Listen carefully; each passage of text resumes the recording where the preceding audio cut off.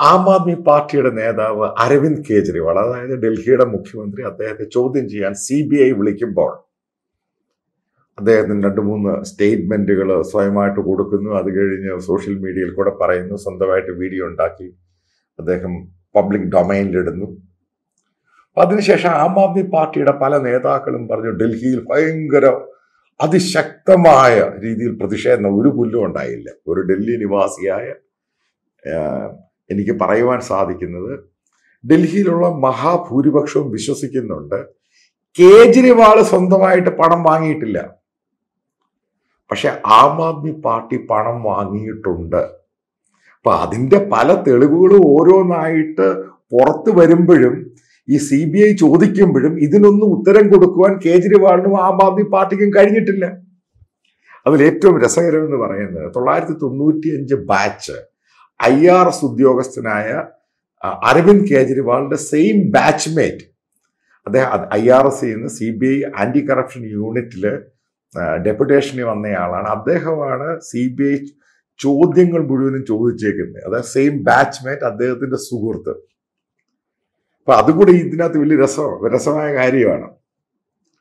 ഈ കേസുമായിട്ട് ബന്ധപ്പെട്ട് ചില തെളിവുകൾ പറയുന്നുണ്ട്. ആ തെളിവുകൾ എന്നതാ കറക്റ്റായിട്ട് എന്തൊക്കെയാണ് സംഭവിച്ചതെന്നാണ് ഇത് പറയുന്നത്. അതായത് ഡൽഹിയുടെ ലിക്കർ പോളിസി മദ്യനയം തിരുത്തുന്നു. പുതിയ മദ്യനയം കൊണ്ടുവരുന്നു സോണൽ ബേസ് ബേസ് ആയിട്ട്. പല കമ്പനികൾക്ക് ഓരോ സോണായിട്ട് തിരിച്ചു കൊടുക്കുന്നു. അവർക്ക് എത്ര ഔട്ട്ലെറ്റ് വേണമെങ്കിലും തുറക്കാം. അപ്പൊ നേരത്തെ ഉണ്ടായിരുന്ന രണ്ട് ശതമാനം കമ്മീഷനായിരുന്നു അത് എട്ട് ശതമാനമായിട്ട് കൂട്ടി കൊടുക്കണമെന്ന് പറയുന്നു. അരുൺ നായർ എന്ന് പറയുന്ന ഡൽഹി ബേസ്ഡ് മലയാളി അദ്ദേഹം ഇവരുടെ ഒരു കമ്മ്യൂണിക്കേഷനും പി ആറും ഒക്കെ ചെയ്യുന്ന ഒരാളാണ്. ഈ പരസ്യവും അങ്ങനെയുള്ള സംഭവങ്ങളൊക്കെ ചെയ്യുന്ന ഒരാളാണ്.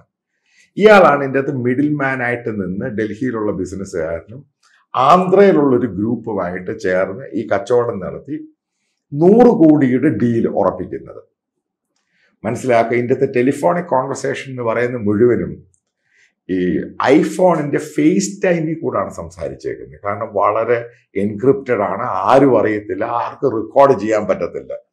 ഇതൊക്കെയായിരുന്നു അരവിന്ദ് കേജ്രിവാളിന്റെ കാരണം മുഴുവൻ അവർ മുഴുവൻ ഐ ഐ ടി എന്ന് ആളുകളാണ്. കാരണം അവർക്കറിയാം ഏതൊക്കെ ഫോണുകളാണ് ടാപ്പ് ചെയ്യുന്നത്. വാട്സപ്പ് എങ്ങനെ ടാപ്പ് ചെയ്യുന്നത്. പക്ഷെ ഇത് ഓരോന്നായിട്ട് പൊളിഞ്ഞു വന്നു കഴിഞ്ഞപ്പോൾ ഈ ഐഫോൺ അതായത് ആപ്പിൾ മേക്കേഴ്സ് ഇതിന്റെ ഡീറ്റെയിൽസ് കൊടുത്ത് എപ്പോഴൊക്കെയാണ് വിളിച്ചത്.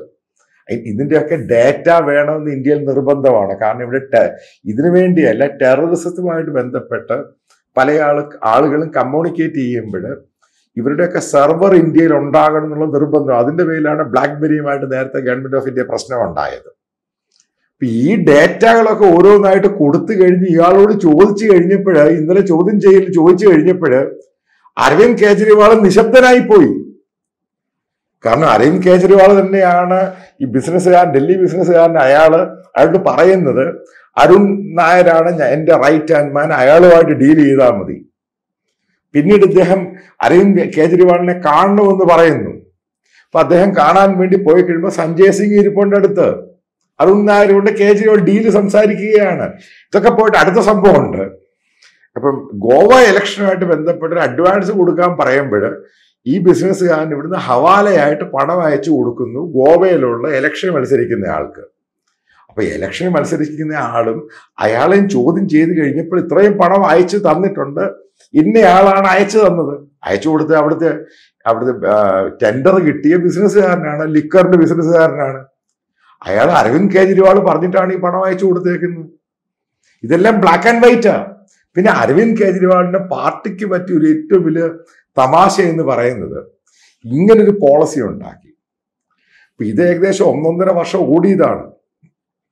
കാരണം ലിക്കർ ഭയങ്കര ചീപ്പായി കാരണം ഇത് ആളുകൾ പ്രശ്നം ഉണ്ടാക്കി. കണ്ടു? ഇത് ഇത്രമാത്രം ചീപ്പായി കഴിയുമ്പോൾ രാവിലെ മുതൽ വൈകുന്നേരം വരെ മദ്യപാനം തുടങ്ങുന്ന സംഭവം പല ബസ്തികളിലും. പല ഈ പാവം പിടിച്ച ആൾക്കാർ താമസിക്കുന്നിടത്ത് പ്രശ്നമുണ്ടായി. കാരണം ആൾക്കാരെല്ലാം ജോലിക്ക് പോകാതെ മദ്യം കഴിച്ചുകൊണ്ടിരിക്കുക അപ്പൊ അങ്ങനെ പ്രശ്നം ഒരു സൈഡിൽ ഉണ്ടാകിയ സർ കാരണം ഇവരെല്ലാം ആം ആദ്മി പാർട്ടിക്ക് വോട്ട് ചെയ്യുന്ന ആളുകളായിരുന്നു. അപ്പൊ അങ്ങനെ പ്രശ്നം ഉണ്ടാകുകയും പിന്നീട് മറ്റൊരു ബിസിനസ്സുകാരന്റെ കഥ അതായത് നിങ്ങൾ മനസ്സിലാക്കേണ്ടത് കച്ചവടം. ഇത് കിട്ടാത്ത ടെൻഡർ കിട്ടാത്ത പല നേരത്തെ ഡൽഹിയിൽ ലിക്കർ ബിസിനസ് ചെയ്ത പല കോൺട്രാക്ടേഴ്സ് ഉണ്ട്. മദ്യ മാഫിയ ഉണ്ട്. അവരാണ് ഈ സംഭവം ആദ്യം ഇത് പുറത്ത് പറയുന്നത് ഇത്ര കോടി രൂപ കൈക്കൂലി കൊടുത്തിട്ടാണ് കിട്ടിയത്. ഇത് അവിടുത്തെ ഒരു രാഷ്ട്രീയക്കാരൻ പറയുമ്പോൾ മൂന്നാമത്തെ ദിവസം ആ പോളിസി മുഴുവൻ അങ്ങ് സ്ക്രാപ്പ് ചെയ്യുവാണ് വേണ്ടാന്ന് വെക്കുവാണ്. അപ്പൊ അത് ഇയാളുടെ രാഷ്ട്രീയ അറിവില്ലായ്മയാണ്. ഒരാൾ പെട്ടെന്ന് ഒരു അലിഗേഷൻ പറയുന്നു. രണ്ടു ദിവസം കഴിയുമ്പോഴും റണ്ണിങ് പോളിസി ഇല്ലാതാക്കി. ഇതാണ് ഇത് വന്നപ്പോഴാണ് സംശയം കൂടിയത്. എന്തുകൊണ്ടാണ് രണ്ടു ദിവസം കൊണ്ട് ഇല്ലാതാക്കിയത്? അപ്പൊ ഈ പണം കൊടുത്തവരോട് പറഞ്ഞു നിങ്ങൾക്ക് പഞ്ചാബിൽ ഞങ്ങൾ അതിന്റെ ചാൻസ് തരാൻ ഡൽഹി പറ്റത്തില്ല. ഇതൊക്കെ ഉണ്ടായ കോൺവെർസേഷനാണ് സംഭവം. ഇതൊക്കെ അതേപോലെ മൊഴി പലരും കോടതിയിലും ഈ അന്വേഷണ ഉദ്യോഗസ്ഥന്മാർക്കും ഡിക്കും മണി ലോണ്ടറിങ് എല്ലാം വന്നു കഴിഞ്ഞപ്പോഴാണ് മനീഷ് സിസോഡിയ പെട്ടുപോയത്. ഇപ്പൊ ചന്ദ്രശേഖർ റാവു അതായത് തെലങ്കാന മുഖ്യമന്ത്രിയുടെ മകളും അവരുമായിട്ട് ബന്ധപ്പെട്ട ഒരു റാക്കറ്റ് ഉണ്ട്. അവർ പക്ക ബിസിനസ്സുകാരിയാണ് അപ്പൊ അവരും പറഞ്ഞു എങ്ങനെയാണ് ഇത്ര പണം കൊടുത്തിട്ടുണ്ട് ഞങ്ങൾക്ക് ഇത്ര സോൺ തരാമെന്ന് പറഞ്ഞു. ഇത്രയായിരുന്നു ടെൻഡർ ഇത്രയാണ് കൈക്കൂലി ചോദിച്ച്. ഇതുമായിട്ട് ബന്ധപ്പെട്ട് ഈ കവിത എന്ന് പറയുന്ന ചന്ദ്രശേഖർ റാവുവിന്റെ മകൾ അരവിന്ദ് കെജ്രിവാളിനെ കാണാൻ പോയി. ഒരു പ്രാവശ്യമല്ല നാല് പ്രാവശ്യം കാണാൻ പോയി. ഈ ചോദ്യങ്ങൾ വന്നു കഴിഞ്ഞപ്പോഴാണ് കേജ്രിവാൾ പെട്ടുപോയത്.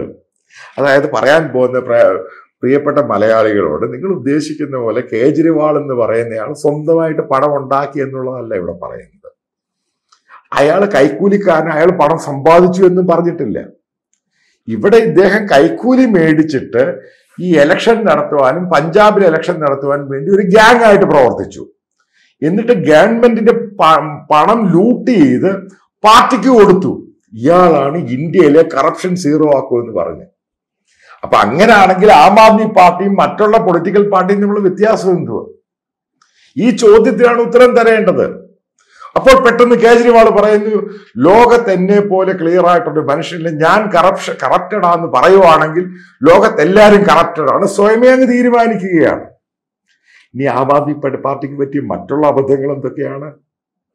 ആലോചിച്ച് നോക്കിയിട്ടുണ്ട്. ഇത് ഇവരുടെ കൂടെ ആദ്യ സമയത്തുണ്ടായിരുന്ന ഈ പാർട്ടിയുടെ അശുതോഷാണെങ്കിലും ആശിഷ് കേതനാണെങ്കിലും പ്രശാന്ത് ഭൂഷൺ ആണെങ്കിൽ അതേപോലെ നിരനിരയായിട്ടുള്ള നേതാക്കൾ എന്തുകൊണ്ടാണ് കേജ്രിവാളിനെ വിട്ടുപോയത്? അത്രമാത്രം ഒതോറിറ്റേറിയനും ഡിക്റ്റേറ്ററുമാണ് ഇയാൾ. ഇയാൾ നിങ്ങളോട് ഈ കാണുന്ന പോലെ സിമ്പിൾ ഒന്നുമല്ല ഈ മനുഷ്യൻ. ഇത് കാണിക്കുവാൻ വേണ്ടി എടുക്കുന്ന ഭാവമാണ്. യഥാർത്ഥ രൂപം വേറെയാണ്. ഇദ്ദേഹത്തിന്റെ പത്രപ്രസ്താവനകളും അതിനുശേഷം നടത്തിയ ഇന്ററാക്ഷൻ നോക്കുക. ഇയാൾ നിങ്ങൾ ഉദ്ദേശിക്കുന്ന പോലെ ഇന്ത്യയിലെ ഏറ്റവും ഡേഞ്ചറസ് പൊളിറ്റീഷ്യൻ ആരാണ് എന്ന് ചോദിക്കുകയാണെങ്കിൽ ഞാൻ പറയാം അരവിന്ദ് കെജ്രിവാളാണ്. കാരണം ഇദ്ദേഹം അരാഷ്ട്രീയം ആണെന്ന് ഒരു ഭാഗത്ത് പറയുമ്പോഴും ആണ് അരാജകത്വത്തിന്റെ ആളാണ്. പിന്നെ ഇദ്ദേഹം വലിയ നേട്ടമുണ്ടാക്കി ഇലക്ട്രിസിറ്റി കുറച്ചു അത് കുറച്ചു. ഇന്ന് ഡൽഹിക്കാരോട് ചോദിച്ചു ഇതിനെല്ലാം ഒരു പണം കൊടുക്കുന്നുണ്ട്. വെള്ളത്തിന് പണം കൊടുക്കുന്നുണ്ട്. ഇതെല്ലാം ഫ്രീ ആണെന്നല്ലേ പറഞ്ഞത്? എല്ലാത്തിനും പണം കൊടുക്കുന്നുണ്ട്. ഇതൊക്കെ ചുമ്മാ ഒരു ഭാഗത്ത് അടിച്ചുണ്ടാക്കുന്ന ഗിമിക്സ് ആണ്. ഒരു ഒരു മറ്റുള്ളൊരു ഭരണാധികാരിയെ പോലെ തന്നെ ഔട്ട്സ്റ്റാൻഡിങ് എന്ന് പറയുന്ന ക്വാളിറ്റി ഒന്നും ഇദ്ദേഹത്തിനില്ല കഴിവുള്ള ആൾക്കാരെ ഒന്നും കൊണ്ടുവന്നു ഇപ്പൊ പ്രധാന പ്രശ്നം ആം ആദ്മി പാർട്ടി നേരിടുന്നത് ഇദ്ദേഹത്തെ അറസ്റ്റ് ചെയ്യുകയാണെങ്കിൽ ആരായിരിക്കും അടുത്ത മുഖ്യമന്ത്രി? ഇതാണ് ചോദ്യം. ഇതിനകത്തുള്ള പ്രശ്നമായി മാറിയിട്ടുണ്ട്. എങ്ങനെ ഈ പാർട്ടി മുന്നോട്ട് പോകും? കാരണം കാരണം അതിന്റെ മൂന്നോളം മന്ത്രിമാരകത്ത് ഇയാളും കൂടെ അകത്താവുകയാണ് നാല് പേരകത്ത്.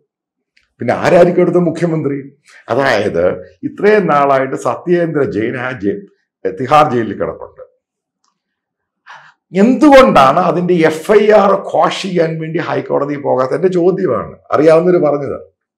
കാരണം അയാൾക്കെതിരെ ഡാം പ്രൂഫ് ഉണ്ട് മനീഷ് സിസോഡിയ പോയിൽ എന്തുവാണ് ഹൈക്കോടതി ചോദിച്ച് ചോദിച്ച് ചോദിച്ച ചോദ്യം? ഉത്തരം കൊടുക്കാൻ പറ്റിയിട്ടില്ല. അതിനും ഉത്തരം കൊടുക്കാൻ പറ്റിയിട്ടില്ല. അപ്പൊ പല ചോദ്യങ്ങൾക്കും ആം ആദ്മി പാർട്ടിക്കും കേജ്രിവാളിനും ഉത്തരം കൊടുക്കാൻ കഴിയുന്നില്ല. ഈ ഒരു സന്ദർഭത്തിലാണ് കേ ഡൽഹിയിലുള്ള ആളുകൾക്കും മനസ്സിലാകാൻ തുടങ്ങിയത്. ഈ പാർട്ടി എന്ന് പറയുന്നത് സീറോ ടോളറൻസ് ഇൻ കറപ്ഷൻ ചുമ്മാ പച്ചക്കള്ളമാണ്. കാരണം ഒരു ഒരു ഒരു മൂവ്മെന്റിൽ സോഷ്യൽ മീഡിയയിൽ കൂടെ ഉണ്ടായ ഒരു ബബിളാണ് ഈ പാർട്ടി. ആ പാർട്ടിക്ക് ശരിക്കും പൊളിറ്റിക്സ് അറിയാത്തതിന്റെ പ്രശ്നമാണ്. ഒരു നയം തെറ്റാണെന്നും അതിൽ അഴിമതി ഉണ്ടെന്ന് അടുത്ത ദിവസം അത് അത് സ്ക്രാപ്പ് ചെയ്യുന്നു. പിറ്റേ ദിവസം എൻക്വയറി വരുന്നു. എൻക്വയറി അവർ തന്നെയാണ്. ആ ഗവർണറാണ് ഓർഡർ ചെയ്യുന്നത് എൻക്വയറി എന്ത്? എൻക്വയറി വേണമെന്ന്. കാരണം ഓർഡർ ഇട്ടേ മതിയാവത്തുള്ളൂ. പെട്ടെന്ന് സ്ക്രാപ്പ് ചെയ്യുന്നു. പിന്നെ ഓർഡർ ഇട്ടേ മതിയാവുക മതി മതിയാവുകയുള്ളൂ. ഇപ്പൊ ഇതൊക്കെ ഉണ്ടായ സന്ദർഭത്തിൽ മനസ്സിലാക്കേണ്ടത് ഈ ഡൽഹിയിലെ ലിക്വർ സ്കാമ് സ്കാമുമായിട്ട് ബന്ധപ്പെട്ട് ഓരോ പ്രോപ്പർ ചോദ്യത്തിനും ഇന്നും ഉത്തരം കൊടുക്കാൻ ആ പാർട്ടിക്ക് കഴിഞ്ഞിട്ടില്ല. ഇത്ര പണം അവർ കിട്ടിയ ആൾ പറയും എനിക്ക് കിട്ടി. കൊടുത്ത ആൾ പറയും ഞാനാണ് കൊടുത്തത് ഇതിന് സാങ്ഷൻ കിട്ടുവാൻ വേണ്ടി. ഇതൊക്കെ മൊഴി മാത്രമല്ല കോർട്ടിൽ കൊടുത്തിരിക്കുന്ന സ്റ്റേറ്റ്മെന്റ് ആണ്. ഈ സ്റ്റേറ്റ്മെന്റ് ഇത് ശരിയല്ല. ഞാൻ അരവിന്ദ് കേജ്രിവാൾ ഇത്ര പ്രാവശ്യം കണ്ടിട്ടുണ്ട്. ഇവരൊക്കെ ആയിരുന്നു ആ ഡീൽ ബ്രോക്കർ ചെയ്ത് എന്ന് പറയുമ്പോഴും അതിനും ഉത്തരം കൊടുക്കാൻ സാധിക്കുന്നില്ല. ഈ ഒരു സന്ദർഭത്തിൽ കേജ്രിവാളിനെ വിശുദ്ധനാക്കേണ്ട ആവശ്യമൊന്നുമില്ല. നിയമം നിയമത്തിന്റെ രീതിക്ക് പോകട്ടെ.